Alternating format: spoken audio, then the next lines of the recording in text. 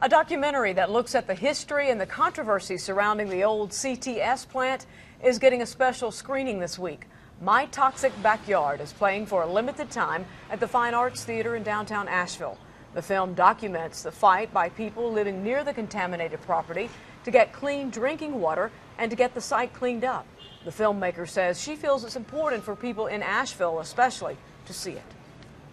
I think a lot of people know that there's the Supreme Court case against CTS, but they don't necessarily know who the people are that are involved and what they've been through. So I kind of hope that my documentary can help put a face to what is happening there.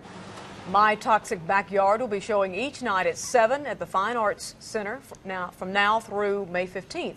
And you can get more information about the film by going to WLOS.com and clicking on news links. By the way, Katie is also a member of our creative services team right here at News 13. Go get them, Katie.